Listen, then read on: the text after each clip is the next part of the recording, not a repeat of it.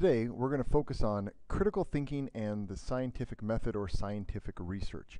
Now, critical thinking is a term we've all heard of, multiple different classes, whatever it may be. We all heard critical thinking, but we need to apply it to psychology.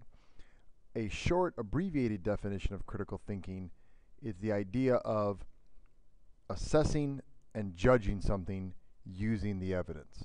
So when someone tells you something, when you read something online, you see a movie, article, whatever it may be, if you're using critical thinking, you are assessing and then judging based upon the evidence provided.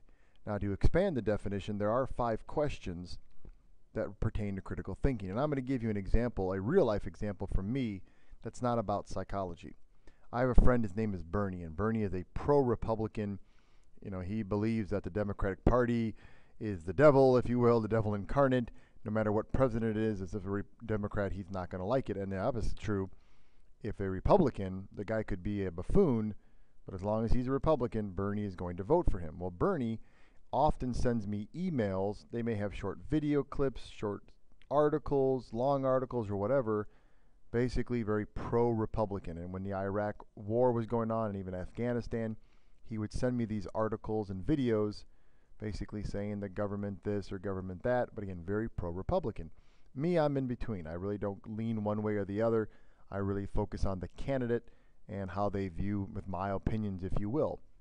However, Bernie likes to talk about his articles that he sends me, and he likes it. I see him quite often, and he wants to go over them with me, so I make sure I pay attention. And I critically think every time I see something from him. And the first thing I'm always going to do is I ask myself, what am I asked to believe? What am I asked to accept in this article or in this video? So step one, ask to believe, ask to accept. Then, what is the evidence provided? You know, what evidence is there? What is it provided? That because obviously Bernie has sent me something that is pro this or pro that, and he I know what he's believing. Well, I need to find that evidence to say what he's he going to come back with when he wants to talk about it. Now, what I like to do is kind of be the devil's advocate here. I always like to look at additional ways to look at the information. So now he's going one way, and then I get it back and say, well, wait a second, Bernie, maybe it could be this way. So I'm looking for additional ways to view the information. If I do that, I have to make sure that I have additional ev evidence for my alternative, additional evidence for my alternative. So I'm going to say, here's what I think, Bernie, because of this, because of dot, dot, dot. And so therefore I can always back up my claim with that. And eventually I'm going to reach some type of reasonable, conclusion of the article. And sometimes it makes you think. I might not always agree with it, but sometimes it makes you think like maybe he's got something there. Um, and so I ask, what am I asked to accept or believe? I look for the evidence. Then I find additional ways that I can think of the information then also looking for additional evidence, and then reach some conclusion. Again, that's real life, but it, again, you'd obviously use it in psychology, and when we use it in psychology is really research. Just because research is done doesn't mean it's good. Just because it's published doesn't mean it's good. And so you read about research, you should always ask yourself those five questions. And a newspaper that I read a lot is USA Today. Now, the USA Today commonly has psych-related articles about you know depression treatment, suicide prevention, Alzheimer's, Parkinson's, another just weight issue, whatever it may be, and I always read them. But just because it's in the paper doesn't mean it's 100% true.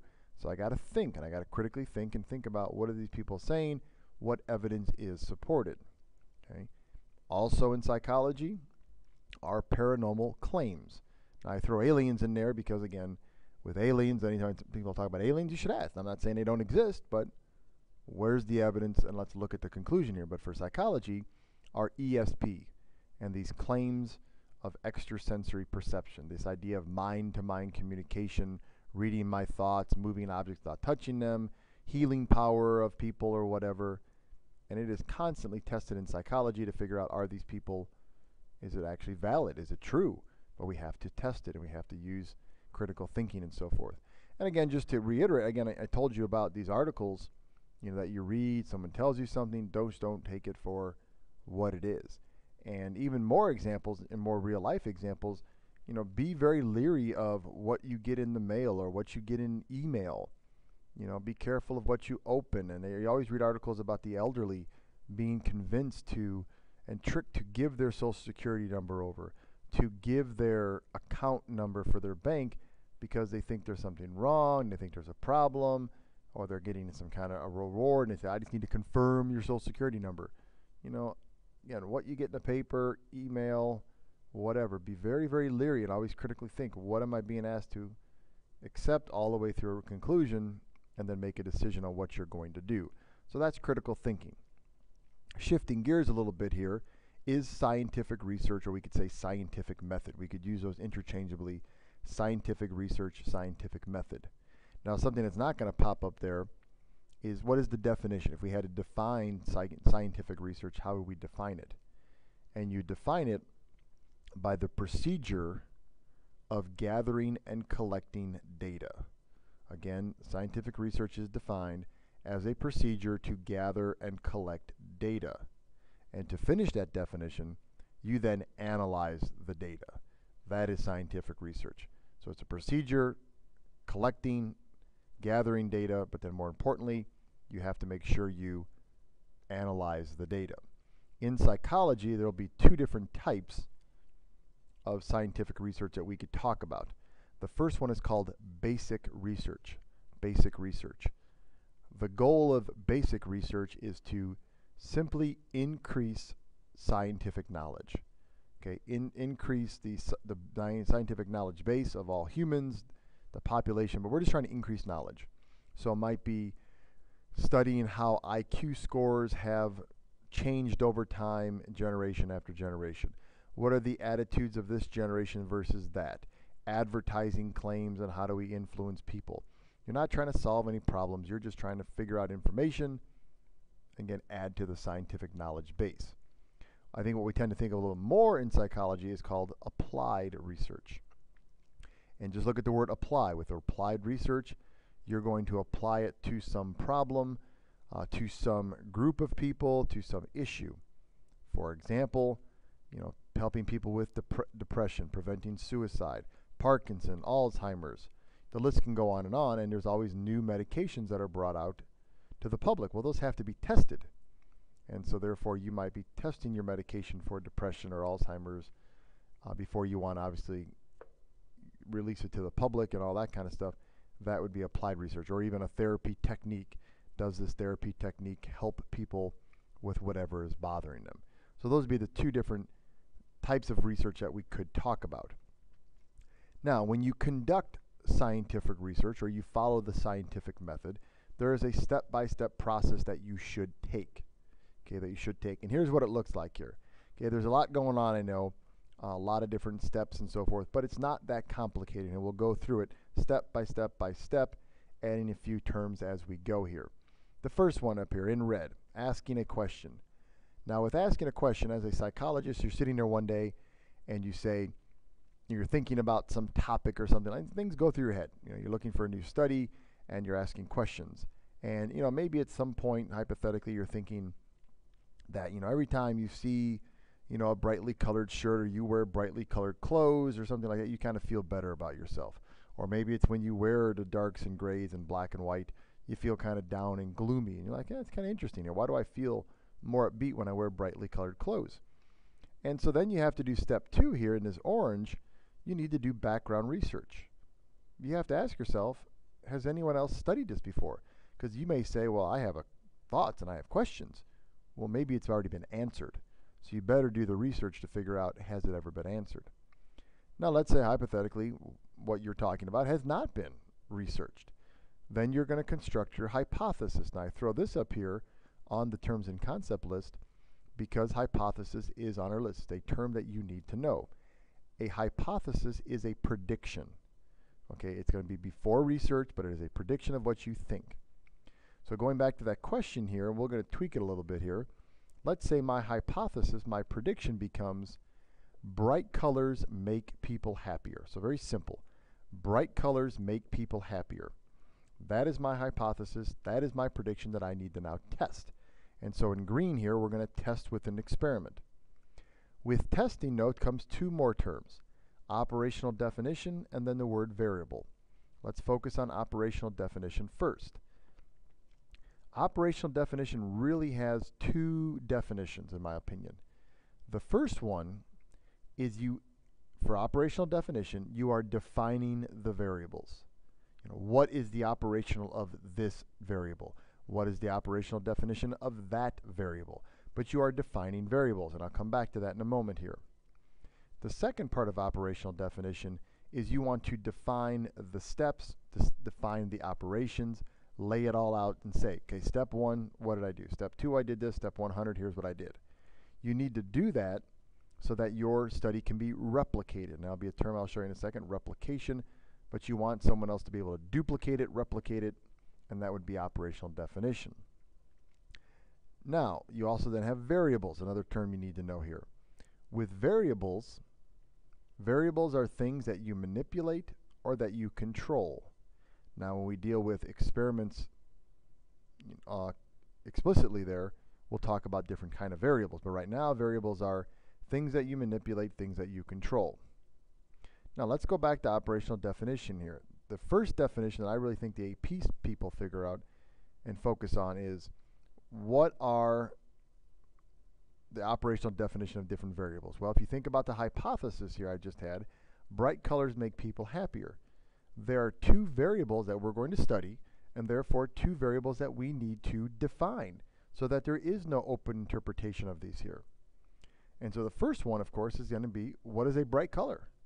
You can't leave it open for interpretation. You can't say, well, uh, well, you'll figure it out. No. I mean, just looking at this chart here, you may say that this yellow is a bright color and this green is a bright color, but this type of red is not a bright color.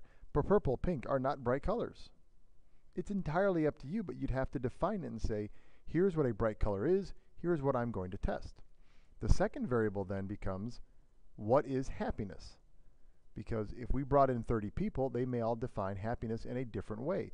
So you'd have to say, what truly is happiness? And it probably would be defined with some type of survey that people take before the experiment and after the experiment.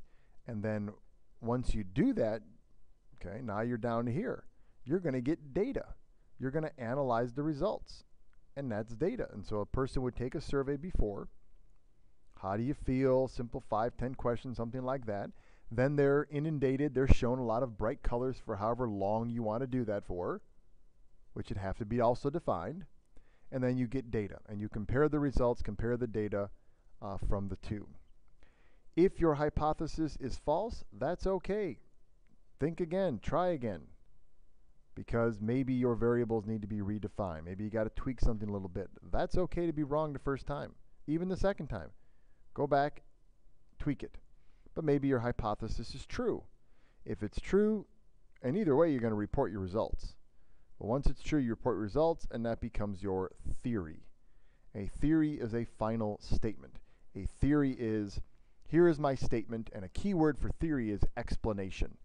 I'm going to explain my statement, not describe. Describing would be coming up here.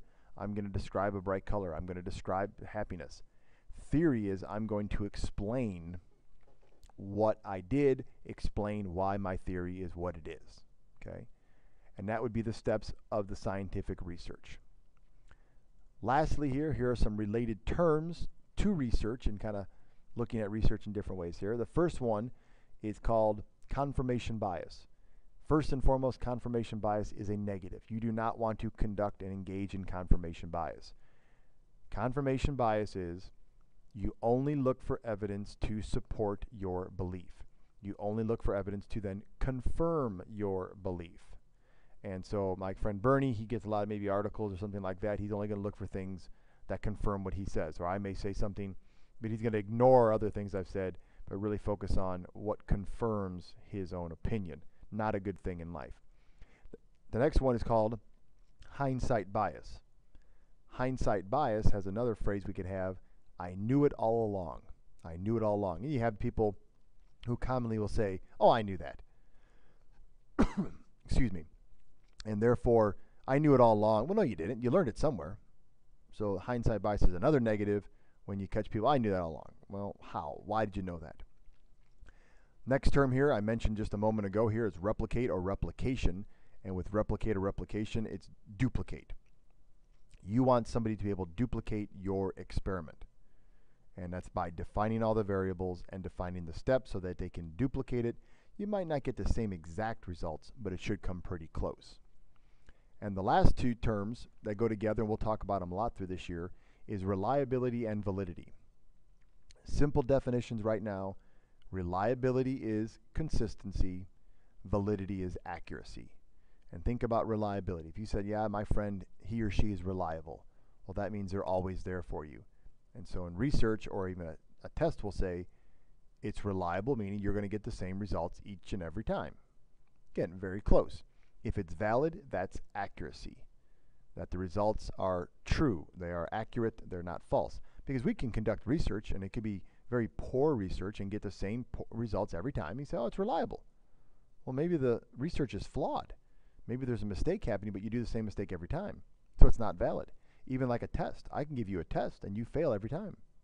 So it's reliable, but it doesn't make it valid. And so you want things to be both. The AP exam is both. It is a reliable test and it is a valid test. It's consistent and it's accurate. And those are the terms and kind of concepts related and surrounding both critical thinking and scientific research, the scientific method.